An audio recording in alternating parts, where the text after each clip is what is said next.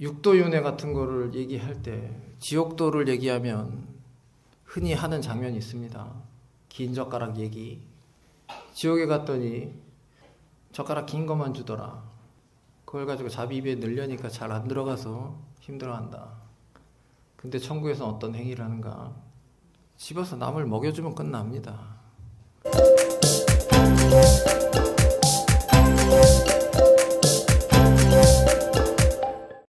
반갑습니다. 어, 주지스님께서 어, 나는 절로 방송이 아주 잘 되고 있습니다. 그래서 오늘도 백양사에 그 촬영 관계로 가 계십니다. 그래서 어, 불가피하게 제가 또 올라왔습니다. 어, 주지스님 뵙기를 원하시는 분들한테는 좀 송구스럽습니다. 자, 지난주에 제가 아미타불에서 말씀드린 내용이 어, 매우 중요한 내용이라고 생각되기 때문에 잠깐 복습하고 오늘 드릴 말씀을 어, 하겠습니다. 어, 지난주에 아미타불은 무량수 이렇게 번역된 것이라고 말씀드렸습니다.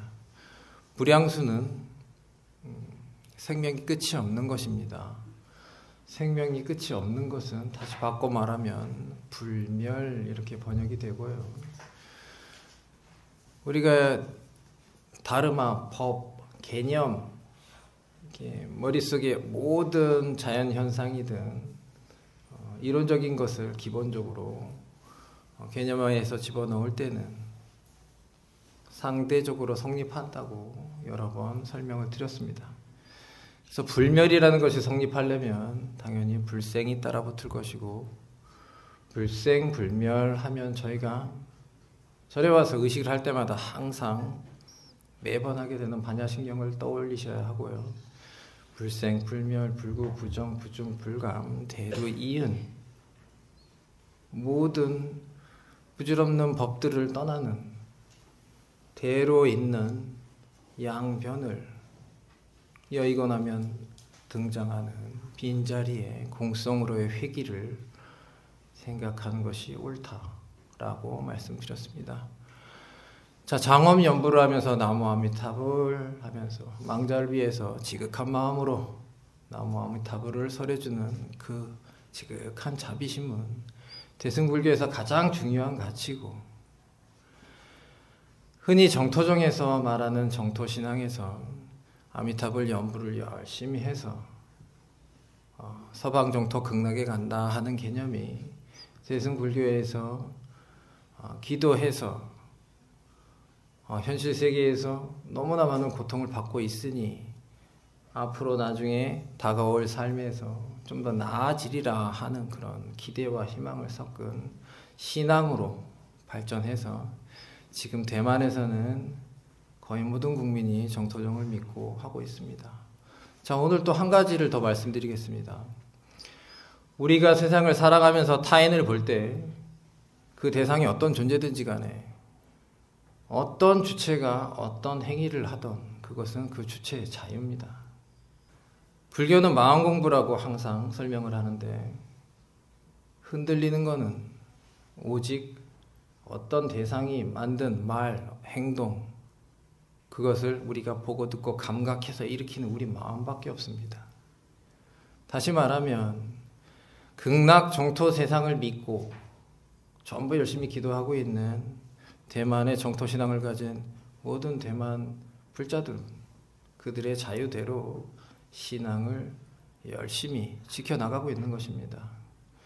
지난번에 제가 본래의 샤키아모니 부다의 가르침에는 고라고 설하신 부분이 인간에게는 본인이 어찌할 수 없는 일들이 계속 반복해서 일어난다라는 뜻이 있다고 말씀드렸고 그 고에 반대되는 개념으로 락을 상정했기 때문에 락은 뭐든지 생각만 하면 다 이루어진다라고 예전에 노스님들이 설명을 하곤 했습니다.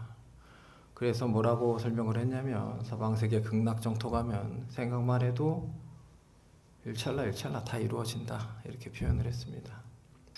본질적으로 옳지 않다고 제가 말씀드렸습니다. 서가모니 부처께서는 채워도 채워도 배가 고프고 내 마음 속에 아니면 내 육신 속에 맛있는 것을 먹어도 먹어도 또 먹고 싶고 또 먹고 싶고 목이 말라서 목이 탈 때 한 잔 목을 죽일 수 있는 물 한 잔이 어떤 때 굉장히 귀합니다만은 이것도 마셔도 마셔도 계속 목마른 것들입니다. 부처께서 근본적으로 파악한 욕망을 다스리는 것은 덜어내고 덜어내고 비우고 비우는 겁니다. 제가 분명히 전제로 한 것은 뭐냐면 다른 신앙과 다른 의식을 갖고 있다고 해서 비난하고자 하는 게 절대 아닙니다. 어떤 주체가 어떤 행위를 하고 신앙 행위를 하는지는 내가 내 마음으로 재단할 근거가 없는 것입니다.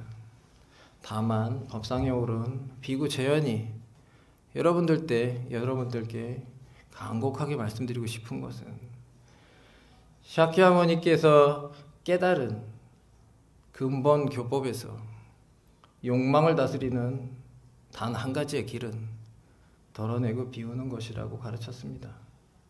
채워서 채워서 될 것은 단 하나도 없다. 너희들 모두는 욕망을 다스리는 길은 욕망을 덜어내는 것임을 명확히 알아라.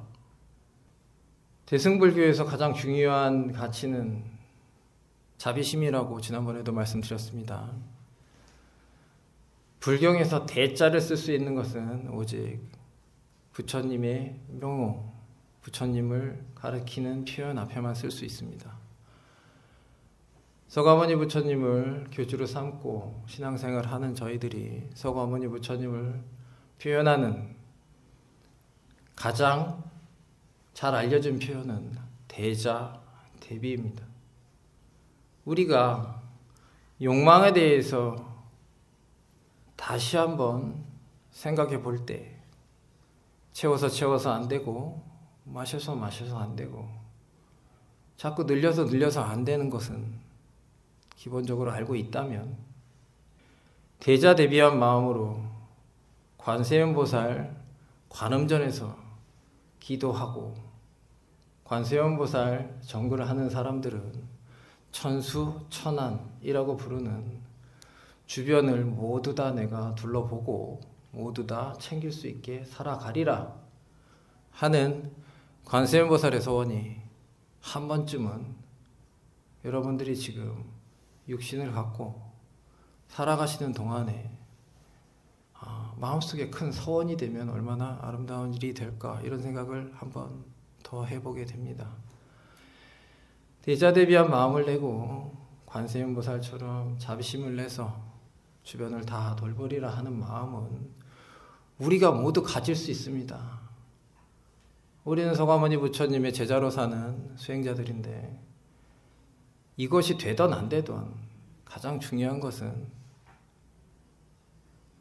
내 마음에 스승처럼 되리라 하는 소원을 갖고 목숨이 끝나는 날까지 정진하고 살아가는 것입니다. 한 번쯤은 대웅전에서 108배를 하고 기도를 한 경험이 있는 사람이거나 관음전에서 관세음보살 정근을 10분 이상 열심히 해본 경험이 있는 분이라면 이제는 내가 관세음 보살처럼 살아보리라. 물론 열심히 정근하고 기도해서 복 받는 것도 중요한 일이, 일이겠지만, 본래는 복 받고 기도하는 것도 희생제의 전통을 강하게 비판한 서가모니 부처의 근본 교법에 아주 100% 맞다고는 말할 수 있는 것이 아닙니다. 하지만 서가모니께서 분명히 말씀하시고 분명히 가르치신 건 뭐냐면, 인생이 끝까지 지켜나갈 수 있는 거대한 목표, 그걸 우리가 흔히 서원을 세운다 이런 표현을 쓰는데, 원을 굳건히 세워서 그 일을 끝끝내 해내리라 하는 정진하는 마음을 가지고 살아가는 것에 대해서는 아주 매우 훌륭한 태도라고 가르쳤습니다. 우리 매번 그 육도윤회 같은 거를 얘기할 때 지옥도를 얘기하면 흔히 하는 장면이 있습니다. 긴 젓가락 얘기. 지옥에 갔더니 젓가락 긴 것만 주더라. 그걸 가지고 자비 입에 넣으려니까 잘 안 들어가서 힘들어한다. 근데 천국에서 어떤 행위를 하는가? 집어서 남을 먹여주면 끝납니다. 아주 잘 먹여줄 수 있습니다. 지난주에 제가 음, 또 이런 말씀을 드렸습니다. 겨울이 오면 추워진다. 는 문장은 완벽하게 틀린 문장이라고 말씀드렸습니다. 그러면 비교적 옳게 이걸 바꾸려면 어떻게 됩니까? 추워지면 날씨가 추워지면 겨울이라고 부른다. 어, 다음 주 정도부터 날씨가 좀 떨어진다고 또 합니다. 제가 왜 날씨 얘기를 자꾸 하냐면 아, 여기 어, 조금 연세 드신 보살님들도 많이 계시고 하셔서 한참 온도가 많이 떨어져서 영화로 지속될 때보다도 지금 11월 달, 12월 초 중순 정도까지 일교차 굉장히 심할 때 오늘 갑자기 추워졌다. 뭐 눈이 많이 왔다. 아, 일기가 아주 안 좋다. 그러시면 댁에서 쉬셔도 됩니다. 네, 네. 어, 이렇게 연화서 꼭 가야 돼 이러시지 않으셔도 되고 이제는 인터넷이랑 다 해서 보실 수 있고 집에서 간단하게 어, 의식을 하고 싶으시면은 뭐 경을 읽으시던가 뭐 주력을 하시든 조용히 그리고 댁에서 하셔도 됩니다. 예. 인터넷에 또 좋은 법문이 많으니까 공부하셔도 되고 그리고 한 2월 정도 돼서 봄이 오기 전에 또 날씨가 좀 살짝 풀릴 때쯤 돼서 또 어, 건강 관리랑 이렇게 신경 많이 쓰시면 좋을 것 같고요. 네. 어, 제가 이런 말씀을 드리는 이유는 예, 어, 저는 부모님을 양친 부모를 다 이미 어, 모셔드린 그런 예, 아들이기 때문에 예, 그런 기간에 좀 겪은 일이 있어서 말씀드리는 겁니다. 자, 연하사의 모든 그 대중들 그리고 또 특히 연세가 좀 있으신 보살님들은 예, 날씨 변화가 심할 때 건강 관리 잘 하시고요. 겨울이라고 하는 거는 머릿속에 우리가 주변의 많은 변화를 개념화해서 기억하기 위해서 시, 명, 겨울 이것을 이름하여 겨울이라고 저장하기 위해서 만들어 놓은 하나의 다름하죠 법. 철학적으로 아주 유명한 명제는 이런 게 있습니다. 이 세상은 이론과 개념으로 존재하는가 아니면은 사건과 현상으로 존재하는가. 겨울이라고 부르는 것은 많은 사건을 우리가 겨울 아닌 곳과 분별하기 위해서 붙인 이름에 불과한. 하지만 실질적으로 우리가 감각하고 느끼고 사고의 영향을 받는 것은 추워지는 현상, 사건입니다. 다시 말씀드려서 겨울이 왔다는 것은 착각일 수도 있지만 날씨가 추워지는 것은 분명한 사건인 것입니다. 다시 한번 말씀드릴게요. 겨울이 와서 추워지는 거 아닙니다. 추워지니까 겨울이라고 생각하는 겁니다. 불교는 마음 공부입니다. 제가 왜 아미타불 이야기와 자비심 얘기를 지난주 하고 이번 주에 계속 말씀드리고 있냐면은 겨울이 추운 게 아니고 내 마음이 따뜻하면 그 겨울은 따뜻한 겨울 되는 겁니다. 겨울이 한 달이고 두 달이고 세 달이고 어느 어느 만큼 길게 춥게 저희한테 다가올지 어떻게 될지 우리는 알 수 없습니다. 하지만 불교를 공부하는 불교 신자라면 한 가지는 분명히 알고 있습니다. 마음 공부의 대상은 오직 내 마음 속에서 일어나는 어떤 대상에 대한 감각이 일으킨 내 마음이지.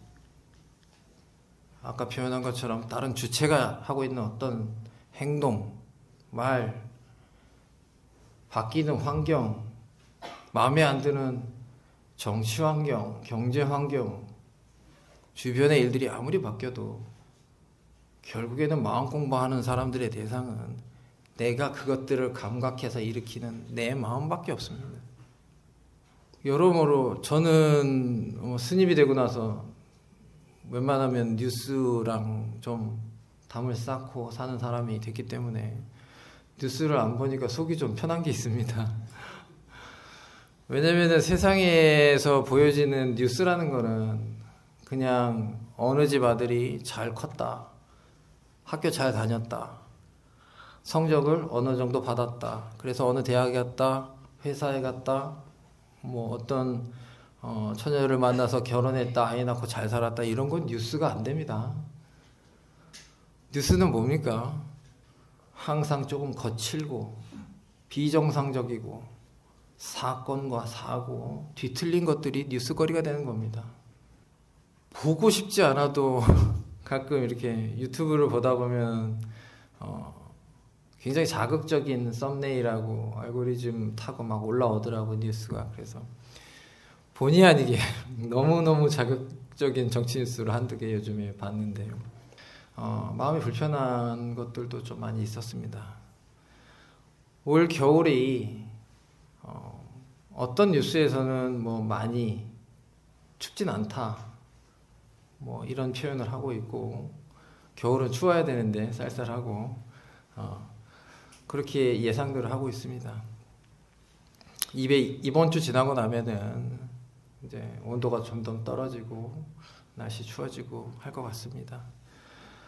장엄 연부를 할때 어, 몸을 버리고 이제 다른 세상으로 떠나는 망자를 위해서 나무하미 탑을 나무하미 탑을 조금 있다가 저희들이 제사를 또 지낼 거지만 그 장엄 연부를 할때 지극한 마음으로 큰 자비심으로 이 삶에서 겪은 모든 고락과 고통과 그런 것들 다 잊으시고 모든 내가 갖고 있는 집착, 남겨놓고 가는 모든 가족, 그 어떤 것들도 마음에 두지 말고 편안한 공성으로 영원히 회귀하소서라고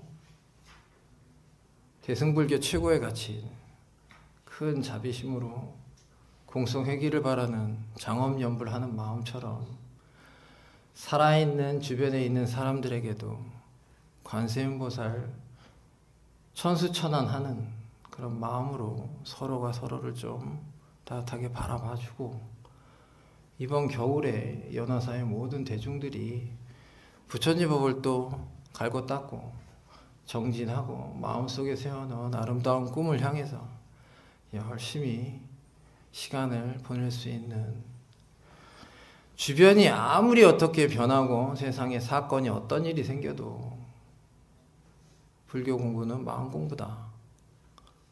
연화사 모든 대중이 마음만큼은 누구보다도 자비심에 넘치고 따뜻한 겨울이 되기를 비구 재현이 축원합니다. 감사합니다.